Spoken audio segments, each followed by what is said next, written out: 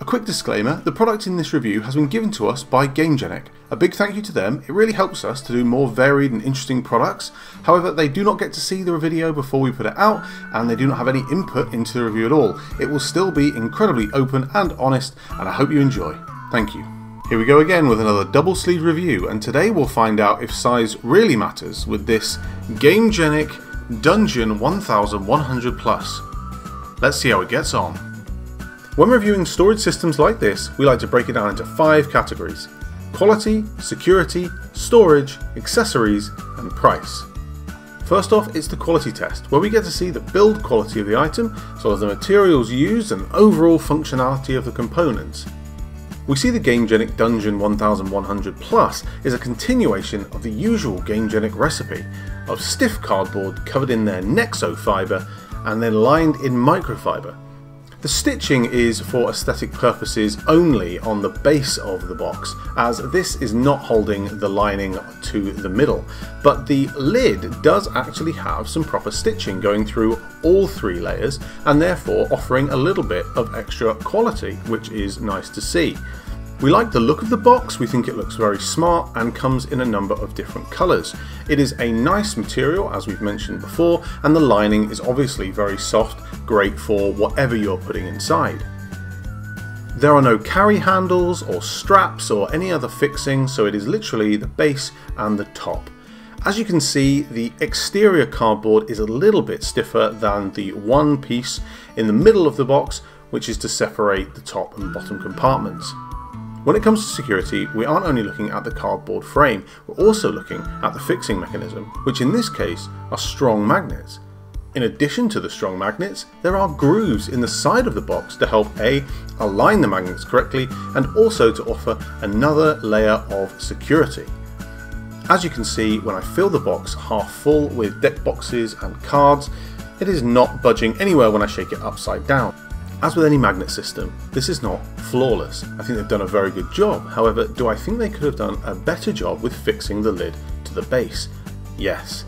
Why? Because with a box this size, it's unlikely going to be going base first into a bag, and therefore it's going to be going end in. And that is going to put a little bit more pressure on the lid, especially if you're filling it full of decks. I would be nervous in taking this full of decks and expecting the lid to remain on the whole way. Do I think if it's intended to be used as a storage system at home, absolutely spot on, and if anything, the magnets would be a plus point as you're not having to undo anything fiddly, velcro, or anything like that.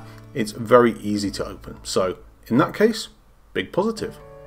Now we move on to storage, and this is the category where I have probably the biggest bone to pick with GameGenic, as it's named the 1100 Plus because it can fit 1100 double-sleeved cards. As you see here, I try and put an inner sleeved card into the deck box in the direction I think would be most sensible, and unfortunately, it doesn't fit. It only fits unsleeved cards, which aren't going to be your best solution. When it comes to double sleeved, they obviously won't fit either, therefore they're going to have to stay standing up, which gives you a lot of room. I don't want my cards moving around that much when they're in any kind of container. I did manage to fit 1,262 unsleeved cards in one side, so 2,524 cards uh, in total would be uh, what you'd fit in this if you didn't want to sleeve them. Again, I'm not quite sure why you'd do that, so you'd be standing your cards up, which gives a lot of wiggle room um, and not the most efficient use of the space. If you've got a huge collection of cards and you really want to put them inside, then fine. But that's more than a standard cube would be, and if you've got that many cards you're not displaying in a binder, then you're not using them in decks, uh, fair enough, maybe this is what you want. However, I think the main use for this will be storing deck boxes. When it comes to deck boxes, you can fit roughly 5 standard 100 plus card deck boxes in one side, therefore you might be able to fit 10 total in this box as both compartments are equally sized. This is pretty good and I would say if you're looking at moving 10 or storing 10 in a neat way then you've got a good job here. However, you have to be aware that not all deck boxes are made equal and not all of them will fit perfectly. For instance, Satin Towers are too tall for this box and therefore they'd have to lie down, which means you wouldn't fit quite so many in. So, GameGenic have made us a big box. If you want a big box, this is probably one of the biggest boxes out there, so great, get one of these big boxes. Does it have an accessories compartment? Not so much. Is it technically all an accessories compartment? Yes, if you've got a lot of accessories. You can fit a playmat or two in one side and deck boxes in the other, just like you would do in any other big box. So if you if you've got a lot of accessories, if you want a specific accessories compartment, you need to look elsewhere, but it'll do if you've got to transport a lot of stuff in general. As far as price goes, GameGenic have this listed at an MSRP of $64.99. That's quite a lot of money for a big box, but like I said, it is a pretty big box, so you'll have to see whether or not that makes sense to you. As always, check your local retailers and wherever you are, see what price you can get for it.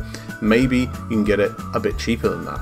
I would hope so. I think it's a little bit expensive for me.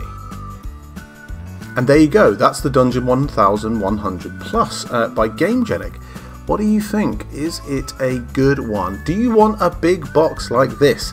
Uh, maybe you want something a little bit smaller. Well, tune in soon when we review the Card Lair 400 Plus. Um, another interesting looking product. We'll have to see if that does better or maybe worse. A big thank you to GameGenic for providing these products. It really helps us to do more interesting products rather than just whatever we can get our hands on. And thank you all for watching. I hope you've enjoyed it. Like the video, um, give us a sub if you really fancy it. We would appreciate it and get to see when the next review comes out. We're churning out review once a week pretty much at the moment, so hope you're enjoying that. And um, yeah, let us know in the comments below if there's other products you want us to do. In the meantime, have a great day and we'll see you in the next one. Goodbye.